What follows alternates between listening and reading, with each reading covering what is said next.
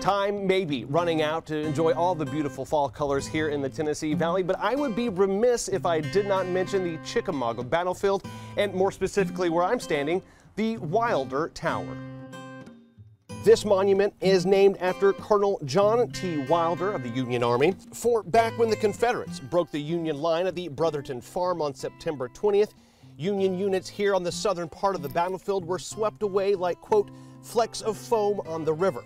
The Federals were simply overwhelmed and were forced to flee. Until soldiers of Wilder's mounted infantry, known as the Lightning Brigade, rode to the battlefield on horseback, then dismounted and fought as infantry. Their Spencer repeating rifles, paid for by the soldiers themselves, could fire three times faster than muzzle loading weapons commonly used. Survivors of Wilder's brigade raised funds for the tower and named it for their commander. Wilder himself returned to this area after the war and was elected mayor of Chattanooga in 1871.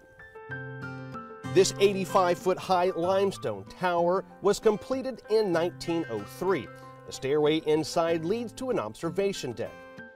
And let me tell you, if the views here don't take your breath away, I can assure you from firsthand experience, the climb to the top will.